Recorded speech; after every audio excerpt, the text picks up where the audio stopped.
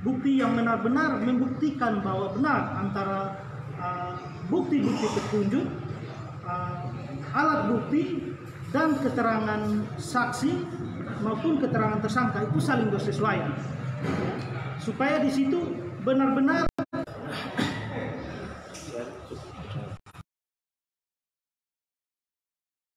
ini kan ada berkembang di masyarakat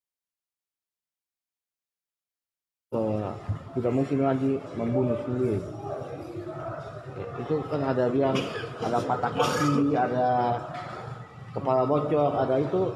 Kemarin bapak yang di lokasi sendiri lihat kronologisnya seperti apa? Waktu di dalam mobil waktu kan katanya mencekik atau apa begitu ya. kalau berbicara tentang proses hukum tindak pidana itu berbicara tentang suatu kepastian cara penangkapannya bicara persatuan terhadap yang dilakukan oleh netizen yang membuat masyarakat itu sudah terbentuk di dalam otak mereka itu adalah orang ini jahat.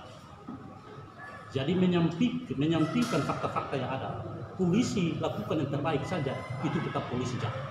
Jadi yang sudah di masyarakat ini sudah dibentuk suatu apa uh, suatu pemikiran yang jahat dalam jadi apa yang dilakukan oleh siapa pun pasti itu jahat itu masalah. Kenapa? Polisi sudah berupaya sedemikian rupa kasus pidana saya, saya pikir kasus ini paling cepat. Coba teman-teman wartawan ketika sudah lama berke- berkecimpung di dunia jurnalis ketika uh, mengikuti proses proses pidana mana apa yang cepat atau tidak? Tapi itu pun polisi tetap disalahkan. Kami saya saya bukan berarti membela polisi. Tapi kami melihat pada prosesnya.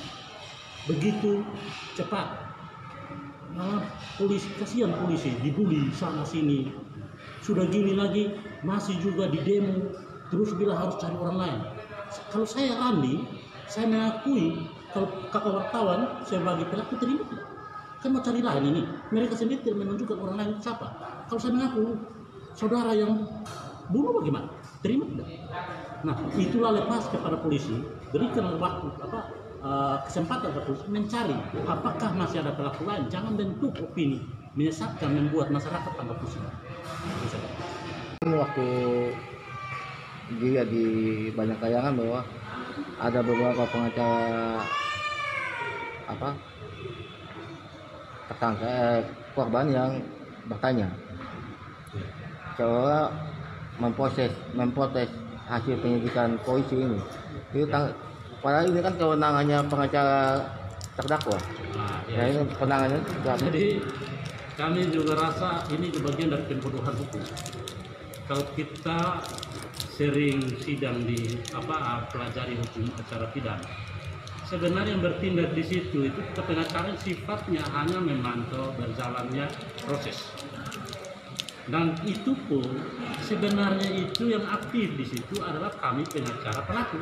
Karena kamilah yang bertindak atas kepentingan klien kami ketika dibawa dalam persidangan. Sementara korban itu sudah di apa diwakili oleh negara itu penyidik dan kepolisian kejaksaan mereka inilah membawa dokumen atau barang ini ke pengadilan untuk dipertanggungjawabkan apakah A yang dilakukan oleh CPU itu sudah sesuai tidak bukan pengacara tadi dari kemarin memang benar.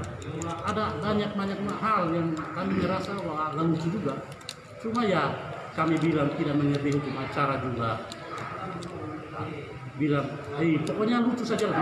Kami kalau saya bilang menyatakannya nanti bilang kami juga melecehkan profesi ya udah biar teman-teman masyarakat yang menilai. Dan baru kali kasus ini pengacara korban intervensi dalam pelaksanaan rekonstruksi kami banyak sebagai pengacara pelaku diam saja memantau karena kami pahami bahwa kami hanya melihat pada BAP apakah ketika pergerakan-pergerakan apa rangkaian uh, perbuatan yang dilakukan itu bersesuaian tidak. Kami cuma kami tidak bisa berbicara.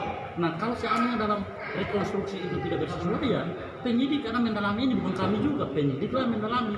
Mungkin oh tidak benar berarti dia berbohong atau seperti kemenangan penyidik kemenangan kami juga mungkin demikian beri tambahkan oleh Dan mungkin sedikit. Hasil rekonstruksi sendiri nah, dari pihak uh, kuasa hukum berhasil. Nah, ini melihat uh, sudah yang dilakukan oleh pihak sudah berjalan sesuai atau maksudnya karena dari kuasa hukum dari korban sendiri masih melihat ini ada keganjalan-keganjalan. Oke. Kalau dia kegagalan-kegagalan pertanyaan pertama, dia tahu bukti apa oleh penyidik.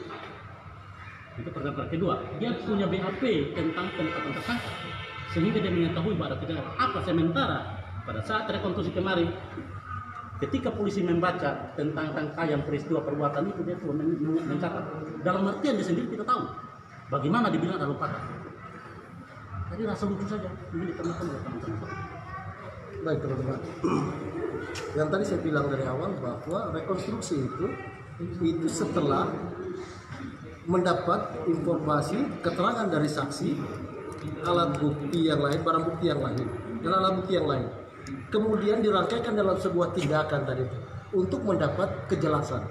Kami saja kami saja sebagai pengacara uh, tersangka dalam hal ini R itu hanya memiliki BAP dari tersangka kami tidak mempunyai uh, barang bukti yang lain dan untuk itu dalam proses rekonstruksi tadi kami mengawal sesuai dengan keterangan klien kami.